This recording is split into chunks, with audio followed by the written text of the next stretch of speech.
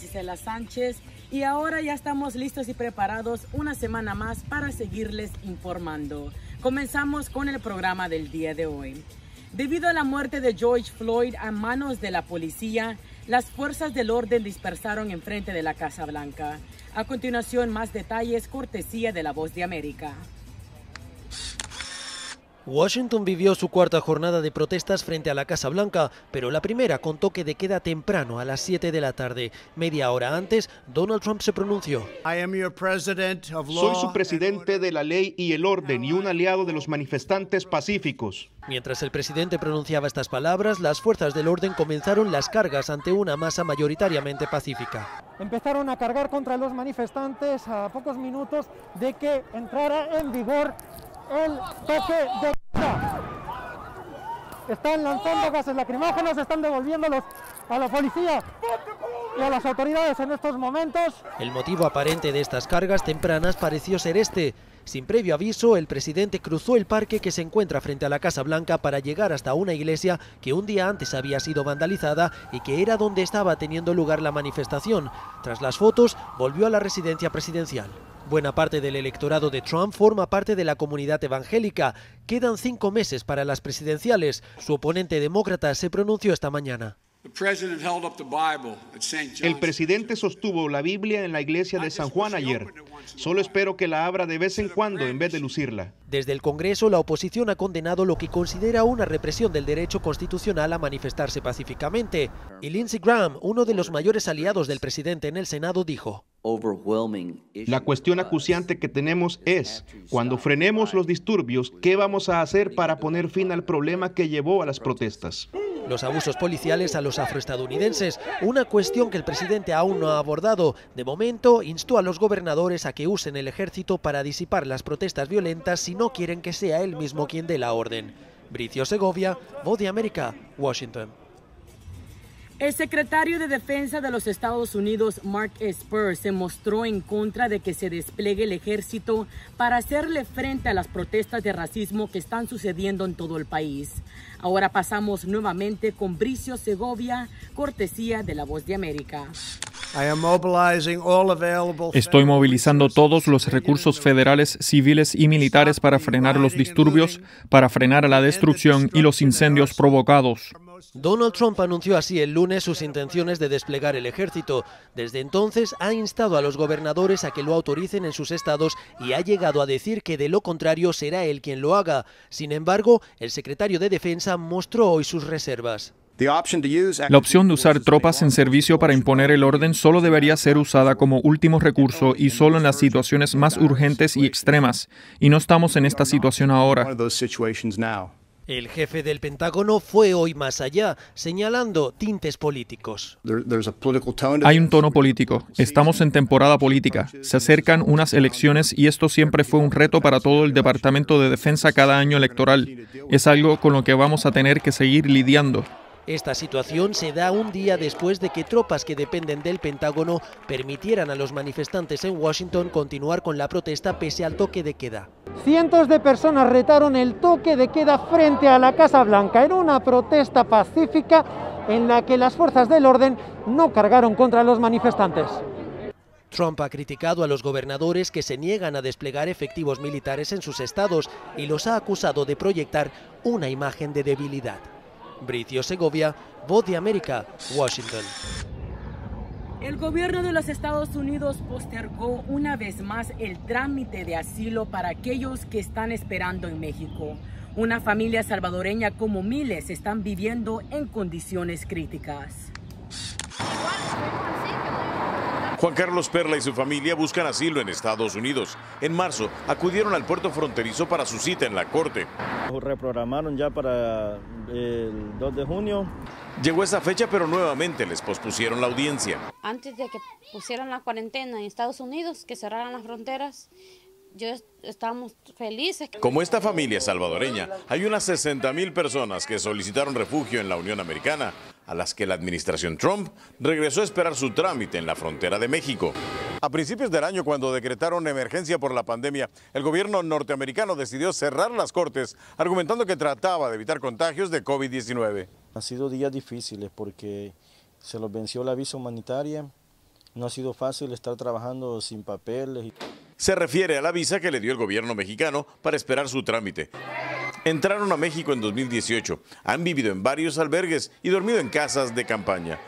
Con ayuda de grupos pro-inmigrantes lograron por un tiempo una vivienda de alquiler.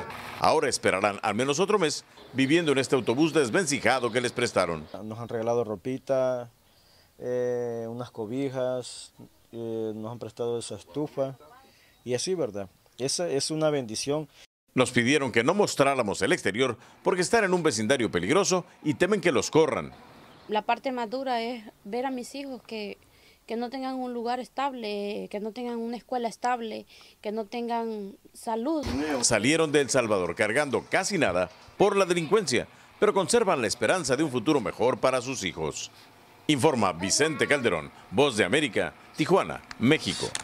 Don Eduardo, qué gusto tenerlo aquí con nosotros en esta mañana. Vemos que están en una actividad donde Coco Cabana se ha convertido en el, centro de acopio para ayudar al Ecuador en estos momentos difíciles. Háblenos cuál es el panorama del Ecuador, eh, cómo este tipo de, acciones eh, coordinadas con el, con el Estado de Maryland y también otras organizaciones este, van a impactar, a la familia del Ecuador.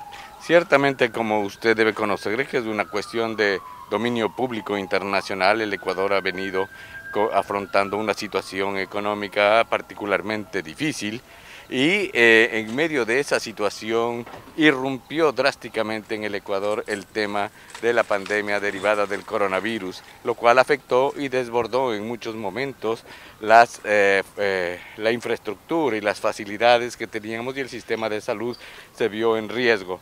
en ese momento, además, el Ecuador debió afrontar una muy seria situación que fue el crack petrolero del precio del petróleo que cayó a menos 37 dólares el barril en un momento determinado. Y obviamente al Ecuador al ser un país que depende fundamentalmente de sus exportaciones petroleras le afectó de una manera indecible eso para el sistema económico, fiscal, macroeconómico del país. En esa situación, pues más los confinamientos, más el aislamiento eh, derivado de las medidas dictadas por el Ministerio de Salud y el Comité de Operaciones de Emergencia, pues también vino a, ver, a producirse una paralización de la economía, del sector productivo, y obviamente eso afectó a muchas familias también vulnerables, muchas familias que a veces viven de, sus ingresos diarios y se vieron afectados, o era el ingreso o era la contaminación, un problema muy serio y una disyuntiva muy seria. De modo que conversando con las autoridades y los amigos eh, de Maryland, con las cuales ya habíamos venido nosotros en conversaciones antes de que se produzca la pandemia, habíamos venido conversando para estrechar las relaciones y afianzar algunas líneas de cooperación. Pero sin embargo sucedió esto que afectó esta pandemia, que afectó al mundo entero. Entonces hemos eh, comenzado a trabajar junto con la oficina del secretario de Estado de Maryland y con dos fundaciones eh, que son los eh, instrumentos, las personas jurídicas operativas para la captación y el manejo, administración y control de las, de las donaciones, que son la fundación The Healing Hands Foundation y la fundación Equadent. Estas dos fundaciones vienen trabajando y están a cargo de esta situación de administración y control de, la captación de donaciones y el secretario de Estado, las oficinas del secretario de Estado y el consulado obviamente estamos ahí para dar un punto de eh, credibilidad, de seriedad a todo este proceso. Habiendo unido este grupo de trabajo junto también con el National Law Enforcement Association, entonces para los defectos de carácter logístico, entonces hemos aglutinado y ha habido muchas personas de buen corazón, personas naturales y personas jurídicas, como por ejemplo aquí estamos en este recinto de eh, Coco Cabana, estamos aquí, como ve usted, con eh, una empresa de, cuyos propietarios son de origen ecuatoriano, que es de empresa Mr. Car, y estamos todos trabajando por una sola causa. ¿Cuál es la causa? ayudar a mitigar de alguna manera, con un granito de arena, ayudar a mitigar la seria situación en que se desenvuelve el pueblo ecuatoriano al momento. Por eso yo estoy como cónsul del Ecuador sumamente agradecido con el Estado de Maryland, sumamente agradecido con la oficina del secretario de Estado y del secretario de Estado adjunto, así como también con estas dos fundaciones que están trabajando a brazo partido para hacer acopio de insumos sanitarios, de equipamiento médico y de alimentos para poder ver si los mandamos ya hacia el Ecuador. Antes de irnos a la primera pausa comercial, les quiero recordar que así es mi gente.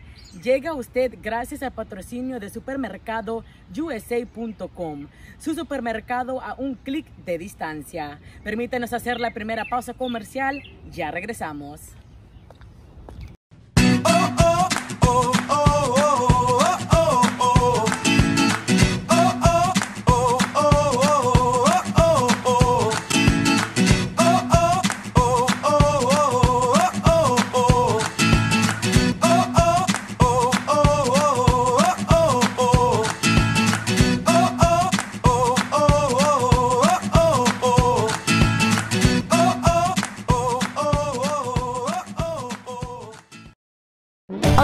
Nos visitabas en nuestra localidad de la 23, pero ahora tenemos nueva casa. Ahora somos Mega Chilum, con mejores especiales, mejores ofertas, más de 50 mil pies cuadrados de productos, un mega parqueo. Somos los mismos Mega Chilum. Si nos visitaste en el 2340 de la University Boulevard, ahora estamos en el 2441 de la Chilum Road, en el Chilum Shopping Center. Ahora te esperamos en Mega Chilum, porque somos los mismos.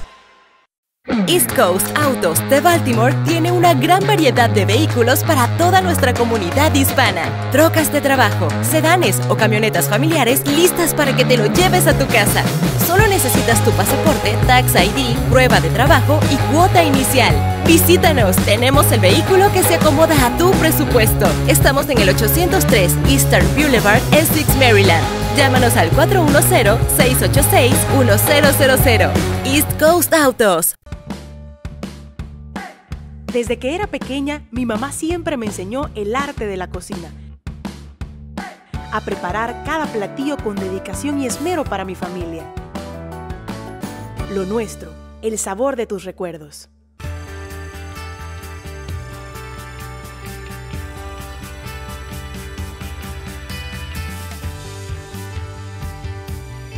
Más que abogados, una mano amiga en tus momentos difíciles.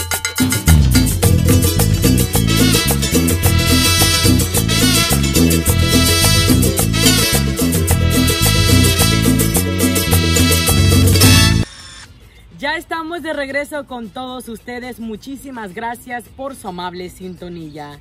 Recuerde que si usted quiere conocer otra fase de mi vida, sígame por todas mis redes sociales que están apareciendo en pantalla. Ahora continuamos con más de Así es, mi gente. Pasamos con el segmento de inmigración con la experta, la abogada Catherine Canto. Hola, Catherine, ¿cómo estás? Eh, vamos a comenzar de una vez. Mira, eh, la última vez que hablábamos el jueves, eh, no había mucha actualización de lo último que ha estado pasando con migración, pero el viernes por la tarde nos llegó un email o una información ya oficial de parte del Departamento de Migración de las Cortes, donde ellos estaban posponiendo de vuelta las Cortes que habíamos dicho que estaban hasta el 12 de junio, ahora la han llevado hasta el 27 de junio. Lo que quiere decir es que todavía nuevamente ha habido otros movimientos y cancelaciones durante todo este mes de junio de las cortes eh, que son preliminares o la cosa que se llama máster y las cortes individuales. Es importante que si usted tiene cortes en estos días, es bueno que usted sepa esto. Sobre todo comparte la información y también háblele a su abogado, porque su abogado le va a tener información eh, actualizada de cuándo va a ser la corte. Lo normal es que como hemos venido diciendo, cada vez que hay un cambio de, de, de, estos, de este sentido, eh, siempre migración o la corte se va a poner en contacto con usted o su representante para que por lo menos 10 días antes pueda la persona saber cuándo le va a tocar su próxima corte y de ahí entonces eh, poder ir y asistir y así no perderla, ¿verdad? Porque lo sabemos lo, lo, lo la consecuencia grave que es de no ir a una corte es de tener una deportación. Así que por eso estamos informando, para que también la gente no se sienta con tanto miedo. Y mire, de paso te digo, eh, yo, yo realmente estoy muy de acuerdo que hayan hecho esto, porque nosotros dentro de nuestros abogados, hablando, conversando de preparándonos ya para iniciar las labores de la corte, porque no se sabía que nos la iban a extender. Eh, también muchos de ellos han expresado preocupación porque todavía no tenemos, eh, todavía aquí en Maryland es un hecho que todavía el, virus está bien bien fuerte. Sin embargo, eh, imagínense, ir a una corte es un salón bien pequeño donde se juntan más de 30, 40, 50 personas, están uno pegadito al lado del otro, es imposible mantener lo que es la distancia social. Y sobre todo también cuando uno está frente al juez o al lado del fiscal, uno sentado al lado de su cliente en, un espacio tan pequeñito, es muy, muy difícil controlar eso. Además que usted no controla quién entra y sale, dónde estuvo, dónde no estuvo, si tiene el virus o no tiene el virus. Entonces yo entiendo que todavía había dentro de los abogados mucha, mucha preocupación eh, y dentro de las clientes también de cómo llegar a las cortes y verse obligados a tener que enfrentarse o decidir o me dan una deportación o me dan o posiblemente me contagio. Así que eh, gracias a Dios que las autoridades de migración tomaron la decisión de extenderlo un poco más y esperando en Dios ya que para julio las cosas vayan mejorando, entonces ya debería todo devolver de vuelta a la normalidad, al menos que ellos decidan nuevamente posponerlo.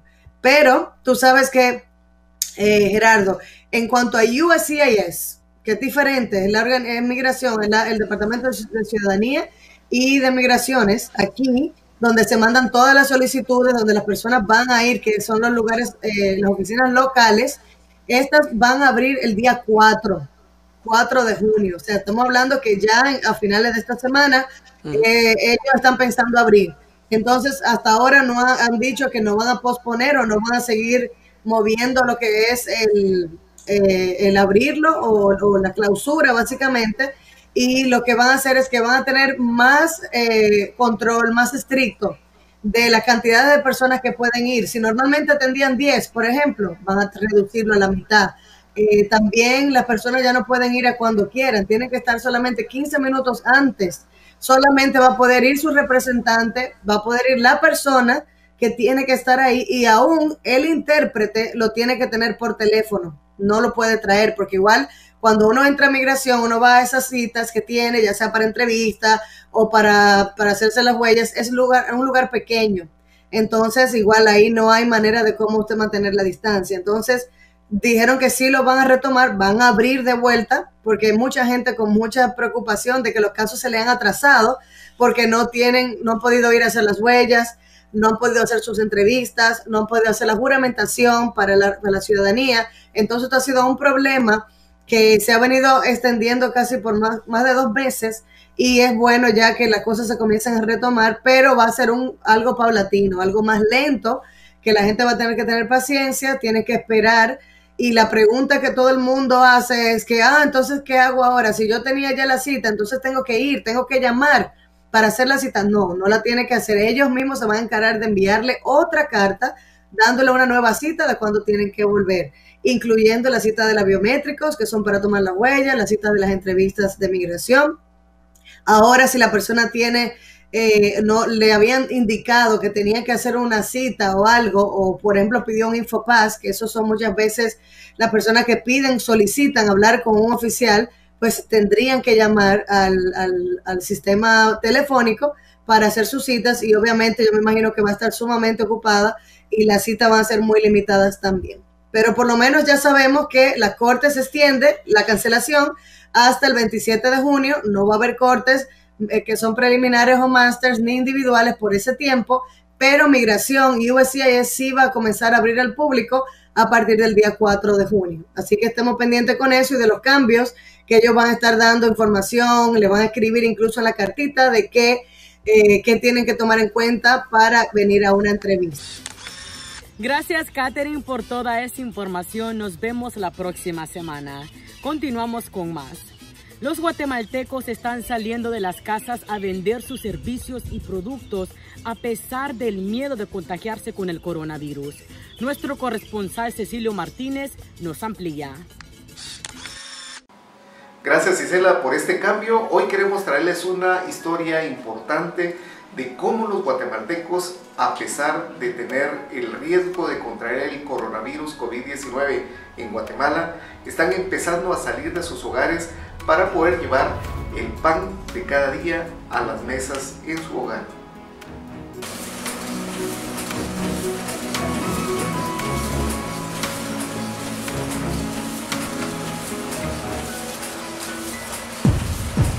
El primer mes fue el más difícil porque sí, casi no estuvimos produciendo absolutamente nada eh, bajamos a tal vez producir un 10%.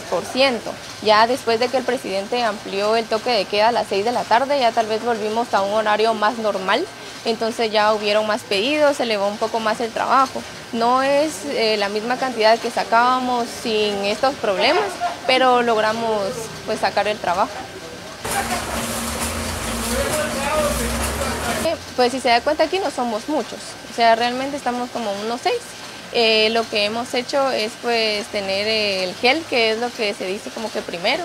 En la entrada pues tenemos la alfombra que tenemos ahí con gel y cada uno cada vez que sale alguno pues ya viene a desinfectarse eh, limpiamos con cloro todas las mañanas y también las mesas verdad están desinfectadas sinceramente no hemos bajado los sueldos porque pensamos pues en el trabajador verdad que cada quien tiene su necesidad y con lo que va saliendo se les va pagando, ¿verdad? Así que una buena administración de parte de, nosotros, ¿verdad? Es lo que nos ha ayudado también a mantener eh, pues la empresa, porque si no hubieran habido unos ahorros anteriores, pues no estaríamos de pie ahorita. Eh, le comento, fíjese que mm, yo llegué a estar como que al cargo porque mi papá tiene cáncer, entonces él tuvo que seguir el tratamiento y por esto del coronavirus pues ya no es posible de que él se encuentre al frente, entonces sí me tocó a mí pues aprender de todo un poco y sacar adelante pues a mi familia y a mis trabajadores.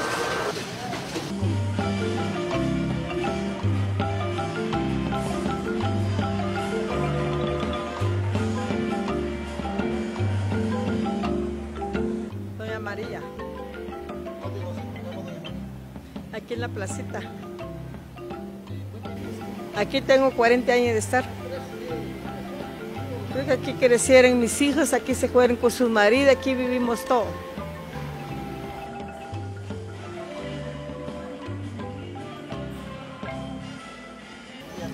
Está silencio. Hoy ha bajado mucho. No como cuando había camionetas se vende un poquito. Ahora ya no se ha bajado mucho la venta para toda clase.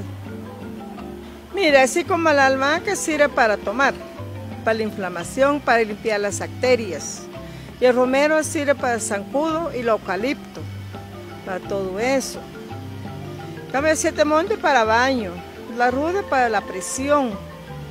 Así como hay lantén, la ajenjo así para los cólicos, lantén sirve para inflamación también. Ahí tenemos plantas medicinales también, para toda clase también.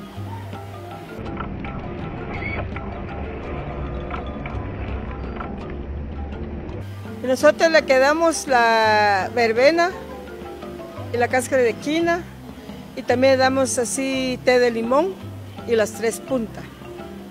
Ese es directamente para esos virus que hay. Sí.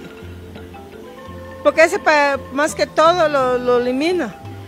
Lo elimina y cuando usted tiene mucha fiebre y la tos seca, no se le quita, toma ese y se le quita todo.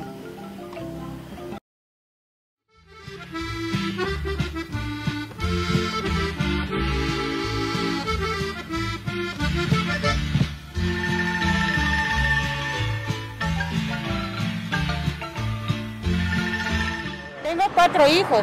¿Cuatro hijos? Ajá. Y tengo que ver qué, qué hacer por ellos, pues para seguir luchando, para darles de comer. Así como ahorita no los traje, los dejé en la casa, de las 4 de la mañana, 4 de la mañana, 4 y media. Y ahí me vengo pidiendo, así como ahorita que no hay buses, pidiendo jalones, ¿verdad? Para de, la de ahí de San Pedro de Zacatepeques para la terminal. Y ahí de la terminal me vengo caminando para acá. Cuando no encuentro carro, pues a caminar. Así como la ida, a veces me dan un jalón de aquí el periférico, si encuentro bus, bueno, y si no de allí me voy caminando hasta la Plaza Florida. Todos tenemos derecho a ganarnos la vida.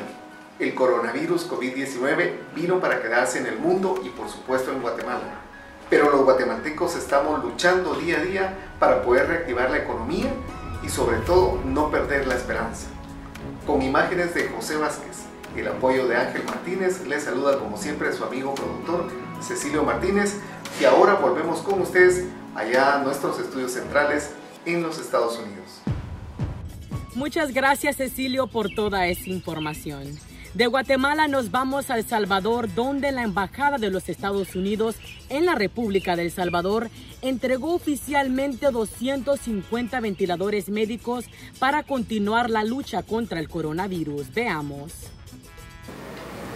Esta donación representa el espíritu de generosidad del pueblo estadounidense y también los fuertes lazos que nos unen a todo nivel, nuestros gobiernos y nuestra gente.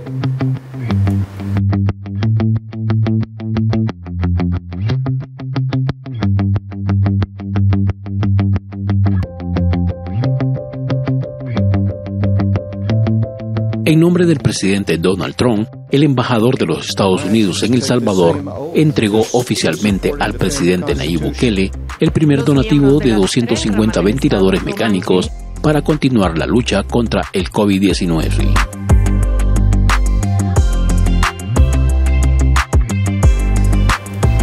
Hoy, mi gobierno, a través de la Agencia de los Estados Unidos para el Desarrollo Internacional, o USAID está donando 250 ventiladores mecánicos portátiles a El Salvador, lo cual representa una donación de más de 3 millones de dólares.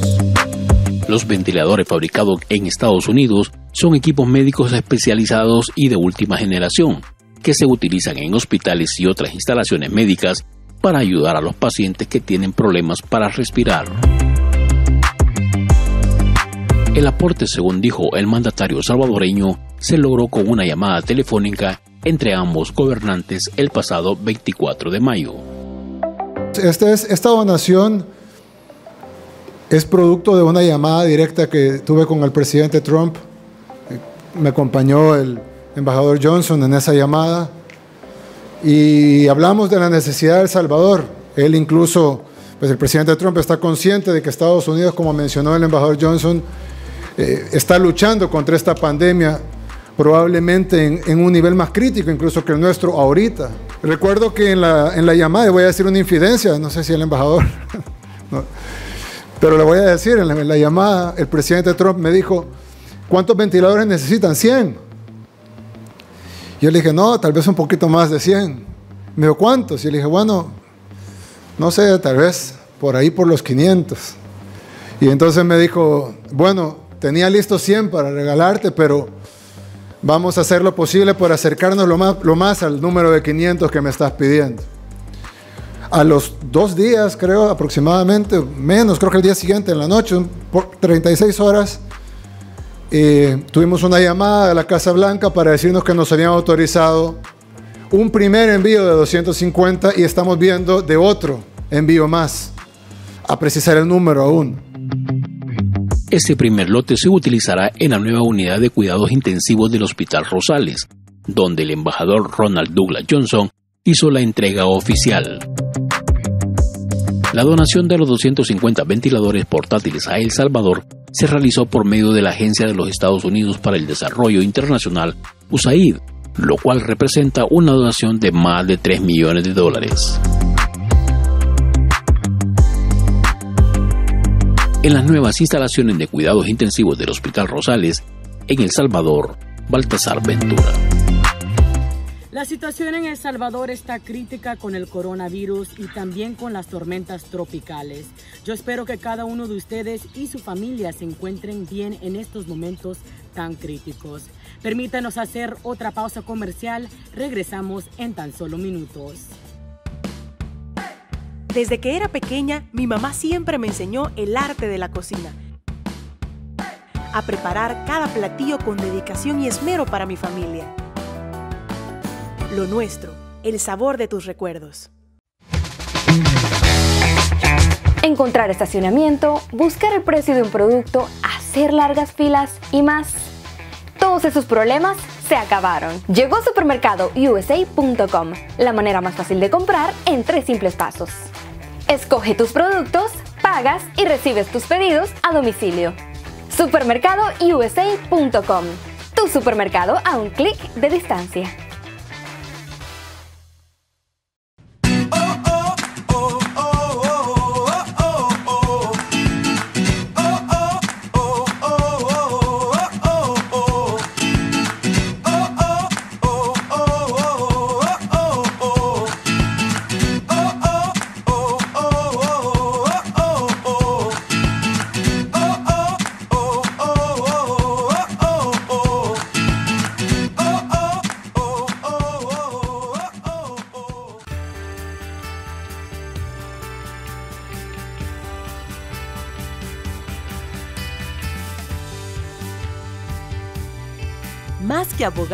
Una mano amiga en tus momentos difíciles.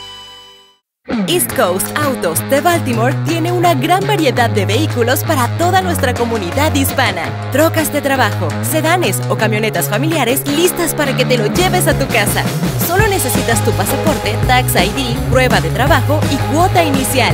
Visítanos, tenemos el vehículo que se acomoda a tu presupuesto. Estamos en el 803 Eastern Boulevard, Essex, Maryland.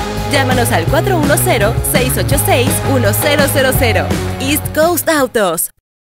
Antes nos visitabas en nuestra localidad de la 23, pero ahora tenemos nueva casa. Ahora somos Mega Marchilum, con mejores especiales, mejores ofertas, más de 50 mil pies cuadrados de productos, un mega parqueo. Somos los mismos Mega Marchilum. Si nos visitaste en el 2340 de la University Boulevard, ahora estamos en el 2441 de la Chilum Road, en el Chilum Shopping Center. Ahora te esperamos en Mega Marchilum, porque somos los mismos.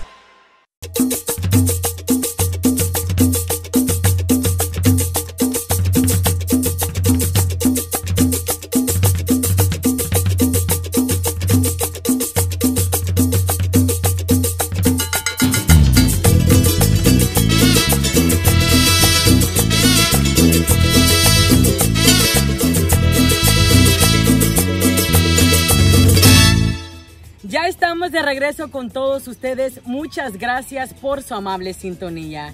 Recuerde que para hacer sus compras básicas visite supermercadousa.com, su supermercado a un clic de distancia. Continuamos con más de Así es mi gente. Dos comunidades indígenas se han peleado a lo largo de la historia por un decreto territorial. Para evitar que continúen estos conflictos, el gobierno de Guatemala ha implementado un decreto. Cecilio Martínez nos amplía. Muchas gracias amigos de Así es mi gente, Gisela, gusto de saludarte. Hoy queremos comentarles que una disputa que lleva más de 100 años por un diferendo territorial entre las comunidades de Santa Catarina, Iztahuacán y Nahualá en el departamento de Sololá, al occidente del país, ha dejado a lo largo de los años mucho sufrimiento y dolor. Por tal motivo, el presidente de la República decretó un estado de sitio para poder salvaguardar la vida y la seguridad de estas comunidades indígenas. Se ha publicado en el Diario de Centroamérica el Decreto Gubernativo 10-2020, el cual establece el estado de sitio para los municipios de Nahualá, Santa Catarina Ixtahuacán y Santa Lucía Utatlán, todos del departamento de Sorolá. Esto es como consecuencia de los enfrentamientos que se han suscitado entre los pobladores de los municipios de Nahualá y Santa Catarina Ixtahuacán. Como gobierno estamos comprometidos con la gobernabilidad, la seguridad y el bien común de todos los guatemaltecos. Es urgente recuperar la gobernabilidad en la zona para proteger la vida, pero sobre todo esclarecer los últimos sucesos. Gracias por la oportunidad de poder informar a nuestros connacionales migrantes a través del medio de comunicación Así es mi gente. Eh, comentarle que el señor presidente constitucional de la República ha decretado un estado de sitio en los municipios del departamento de Sololá, de Santa Lucía, Utatlán, Santa Catarina, Iztahuacán y Nahualá. Esto derivado de los hechos de violencia que recientemente se han llevado a cabo en estos municipios. De acuerdo con la ley de orden público, pues el ejército el señor presidente va a ejercer sus funciones a través del señor ministro de la Defensa Nacional en estas municipalidades mientras dure el estado de sitio, eh, el cual debe ser aprobado y de hecho ya, fue aprobado o fue ratificado por el Congreso de la República. Las libertades que están siendo limitadas, las libertades constitucionales que están siendo limitadas en este estado de sitio son la libertad de acción, la libertad de locomoción, el derecho a manifestarse y la tenencia y portación de armas de fuego. El ejército de Guatemala está llevando a cabo una misión muy, eh, digamos, puntual en relación a lo que se está haciendo acá. Nuestra, nuestro trabajo es brindar un ambiente estable y seguro para que las autoridades jurisdiccionales, eh, sea la Policía Nacional Civil o el Ministerio Público, lleven a cabo las investigaciones de los hechos de violencia que se han realizado en este lugar y lo más importante que pueda regresar la gobernabilidad a estas comunidades. Todo esto en el marco del respeto, del estricto respeto de los derechos humanos en esta área. Eh, las operaciones que llevará a cabo el ejército pues son de protección y serán las autoridades jurisdiccionales quienes informen. A la fecha se han llevado a cabo allanamientos, se ha confiscado armamento ilegal, también eh, algunos explosivos y esperaríamos que lo más importante para nosotros es, que, que, ya no exista más violencia entre estas dos comunidades que tienen un litigio pues, de muchos años. Ayer me movilicé a varios municipios lo primero que quiero manifestar es que recibimos de ellos la complacencia por haberse decretado el estado de sitio. Haber mm, eh, tomado esta medida ha permitido que se devuelva mucho la paz, la tranquilidad a esos municipios.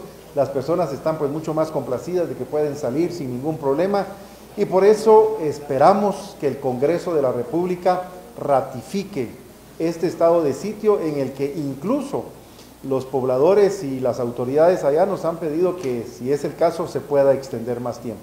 En los procesos de diálogo se tomen decisiones serias, que no se quebranten con el paso del tiempo y asimismo que ellos puedan ejercer un mayor control dentro de sus municipios con la ayuda de las fuerzas de seguridad de gobierno a efecto de identificar a aquellas personas que puedan al margen de la ley estar generando este tipo de situaciones que ponen en riesgo la vida de las personas.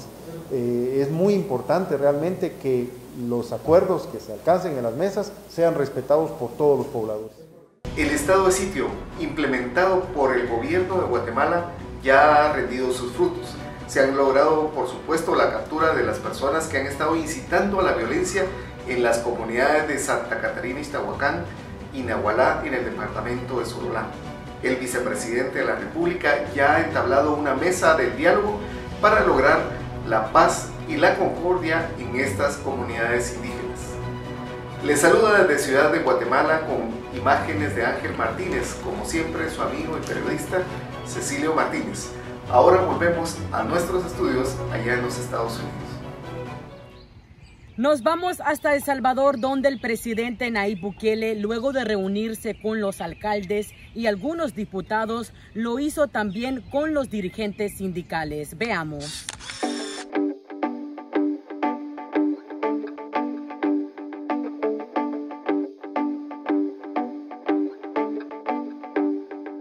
El ingreso a estas instalaciones del presidente de la República. El presidente de la República, Nayib Bukele, se reunió con dirigentes sindicales para conocer su valoración sobre las medidas tomadas contra la pandemia del COVID-19, ley de emergencia y la reapertura de la economía. Pero realmente esta pandemia le ha demostrado al mundo que el verdadero motor de la economía son los trabajadores. En el presente mes, el mandatario se ha reunido en Casa Presidencial con los alcaldes de los partidos, Arena, PDC, PCN y Gana, pero también lo hizo con unos pocos diputados que atendieron el llamado. El pasado miércoles tuvo como invitado a los líderes sindicales a quienes reconoció como los representantes del pueblo. ¿A dónde están las máquinas? ¿A dónde está la astucia, la innovación, la audacia? ¿A dónde está el capital? ¿Por qué no funciona solo? ¿Por qué están tan desesperados porque los trabajadores vuelvan a las máquinas? ¿Por qué están tan desesperados porque los trabajadores vuelvan a sus puestos? Aparentemente no era la innovación, ni la inventiva, ni las máquinas, ni los bienes de capital, ni el dinero lo principal. ¿Son importantes? Sí, claro. Un campesino puede producir más con una máquina que sin ella. El mismo machete es una máquina, rudimentaria, pero una máquina. ¿Son importantes entonces todas las cosas que mencioné? Muchísimo, muchísimo, uh, importantísimas, pero nunca tan importante como el personal humano. Nunca tan importante como los trabajadores. En la reunión, los sindicatos anunciaron al presidente que interpondrán una demanda en contra de la Asamblea Legislativa y la Sala de lo Constitucional ante la Corte Interamericana de Derechos Humanos por supuestamente bloquear la declaratoria de estado de emergencia nacional que viene del Ejecutivo. Que nuestro equipo de abogados, nuestro equipo jurídico, con muchos compañeros aquí, Hemos tomado la decisión, presidente, y queremos comunicárselo a usted y comunicárselo al pueblo salvadoreño, que seremos nosotros los que vamos a presentar la demanda ante la Comisión Interamericana de Derechos Humanos en contra del Estado salvadoreño, particularmente en contra de el órgano legislativo y el órgano judicial. Gracias. Los líderes sindicales expresaron su respaldo rotundo a las medidas tomadas por el mandatario para contrarrestar la pandemia y anunciaron su acompañamiento a la propuesta de ley de emergencia que defiende el gobierno. Pero nosotros queremos decirle que como mandantes que somos también de la Organización Internacional del Trabajo, venimos a dar ese respaldo al gobierno y por el contrario, nosotros también vamos a elevar, estamos preparando una queja ante la OIT de la NEP por las acciones en las que ha incurrido en esta crisis de pandemia, despidos masivos. Nosotros le hemos dado en llamar, más que todos los trabajadores de la salud, como un eje del mal, algo así como un eje del mal. ANEP sale lo constitucional, Asamblea Legislativa, como un eje del mal, que no le importa la vida de nuestro pueblo ni nada, y no le importa dar los recursos que necesita el Ejecutivo para poder hacerle frente a esta pandemia. En la ciudad de San Salvador, El Salvador, Baltasar Ventura. Del 15 al 19 de junio estarán a la venta productos de emprendedores hondureños. Cecilio, amplíalos más esta información. Muchas gracias Isela por este cambio. Hoy queremos eh, saludarlos, pero desde Tegucigalpa, Honduras, con información importante. Como ustedes muy bien conocen, los hondureños son luchadores y por supuesto muy trabajadores a pesar de esta adversidad que están sufriendo por este coronavirus COVID-19 en toda Centroamérica.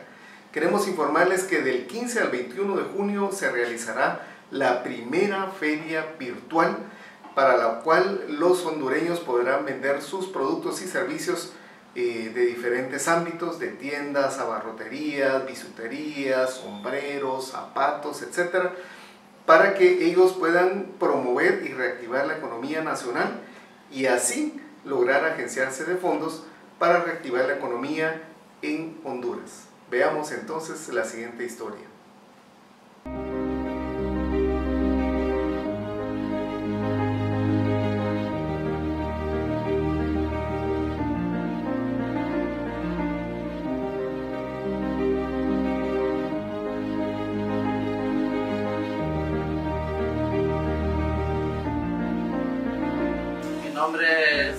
Israel Jiménez Hernández. Somos propietarios de jugos naturales La Bendición.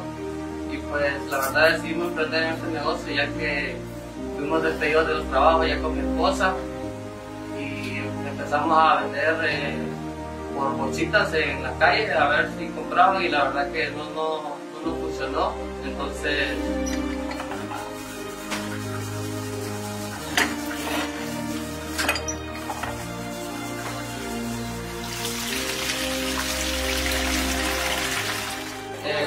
vino la idea de entregar galones a domicilio. Empezamos acá, compramos la máquina, empezamos a trabajar en la casa y empezamos a repartir a domicilio y vimos que era mejor entregar a domicilio porque las personas no quieren salir de la casa. Entonces empezamos a, a meter lo que es naranja, limón, maracuyá y tamarindo. Estamos empezando a, a tener más clientes y queremos darle el mejor servicio. Eh, queremos también eh, tener la mejor calidad, lo que es el sello del, bote, queremos también poner la etiqueta y seguir ahí sirviéndole a domicilio. Muchas gracias y esperemos darle el mejor servicio. Consume lo nuestro, hecho en Honduras. Hecho en Honduras.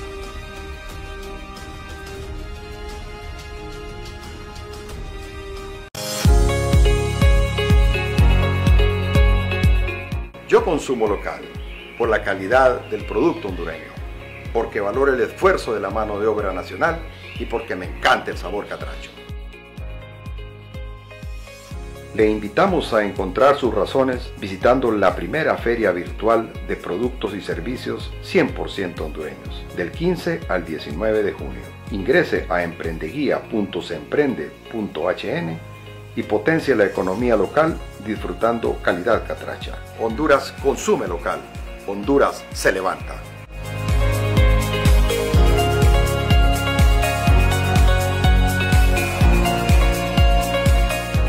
Nos preparamos a entrar a una nueva etapa de esta nueva realidad de la pandemia.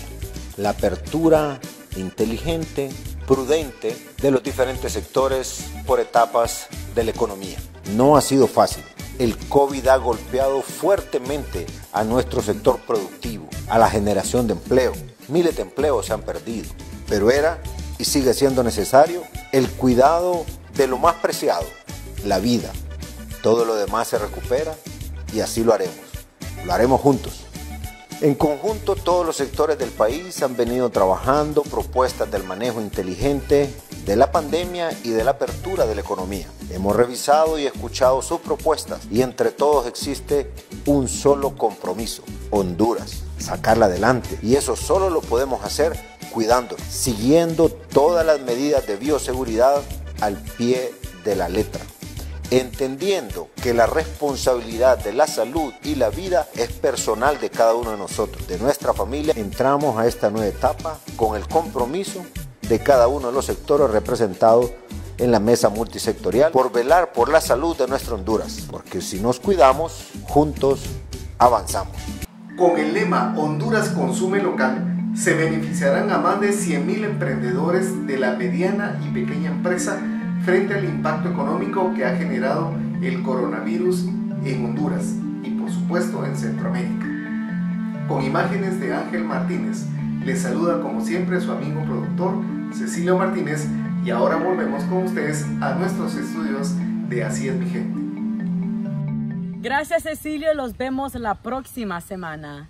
Ahora permítanos hacer la última pausa comercial, pero antes de irnos les quiero recordar que así es mi gente, llega a usted gracias al patrocinio de Harina Más Sabrosa, la harina que pasa de generación en generación. Ya regresamos con la recta final de su programa Así es mi gente. Desde que era pequeña, mi mamá siempre me enseñó el arte de la cocina a preparar cada platillo con dedicación y esmero para mi familia. Lo nuestro, el sabor de tus recuerdos.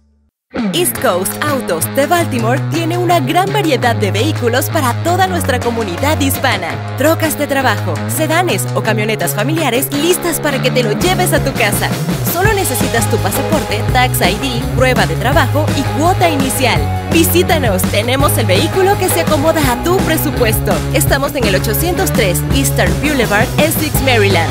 Llámanos al 410-686-1000. East Coast Autos.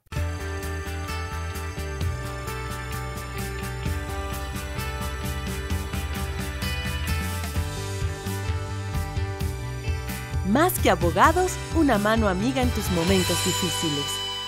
Antes nos visitabas en nuestra localidad de la 23, pero ahora tenemos nueva casa. Ahora somos Mega Marchilum, con mejores especiales, mejores ofertas, más de 50 mil pies cuadrados de productos, un mega parqueo. Somos los mismos Mega Marchilum. Si nos visitaste en el 2340 de la University Boulevard, ahora estamos en el 2441 de la Chilun Road, en el Chilun Shopping Center. Ahora te esperamos en Mega Marchilum, porque somos los mismos. Ya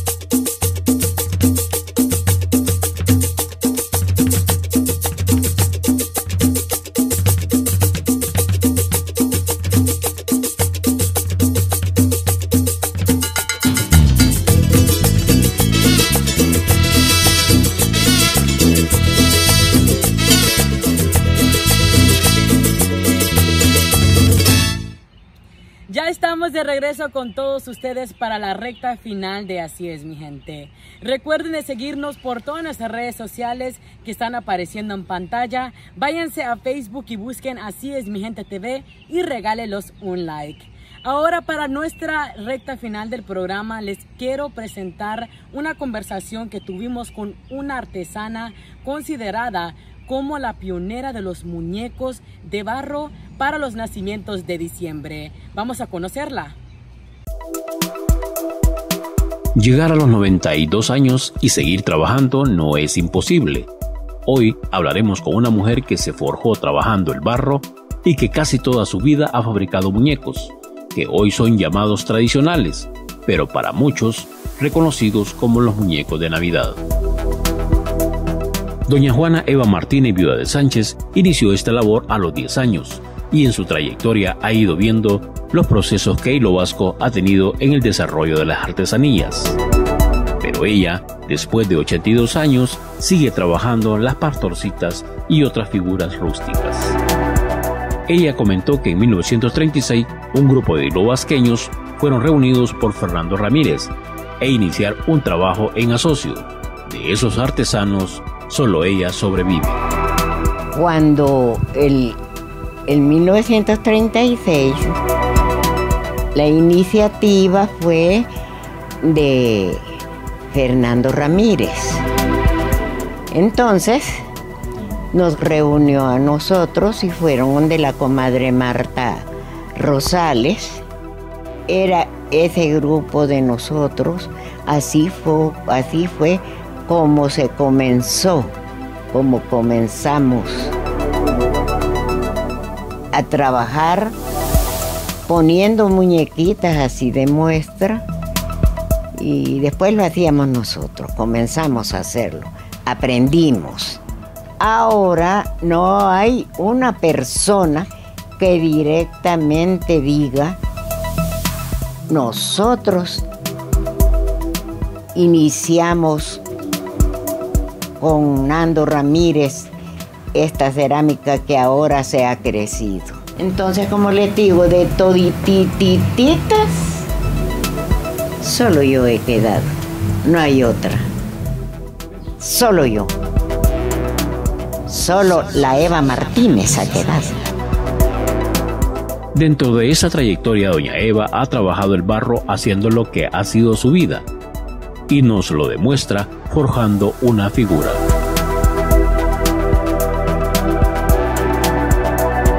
El trabajo y el tiempo que doña Eva ha realizado en la ciudad del barro es reconocido por María Estrada, una mujer que también por más de 50 años se ha dedicado a este tipo de trabajo.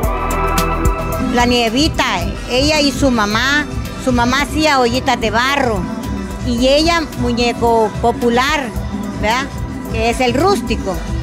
Eh, ella toda, toda, toda la vida ha hecho muñecos de Navidad. Es de las pioneras.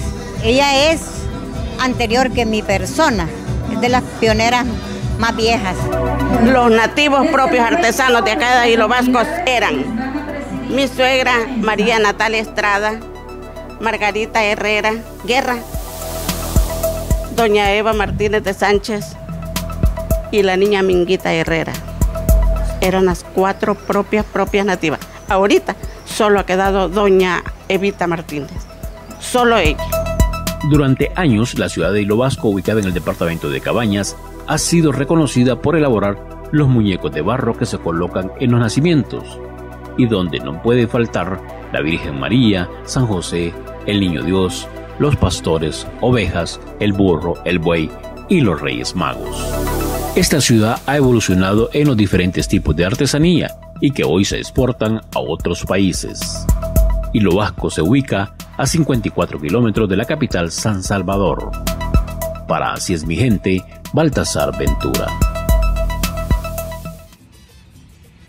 Llegamos al final del programa del día de hoy, agradeciendo a cada uno de ustedes por su amable sintonía semana tras semana. Recuerden que si quieren conocer otra faceta de mi vida, síganme por todas mis redes sociales que están apareciendo en pantalla en estos momentos. Ha sido un placer acompañarlos una vez más. Cuídense y protéjanse con su familia en su casita. Los veo la próxima semana. Hasta la próxima.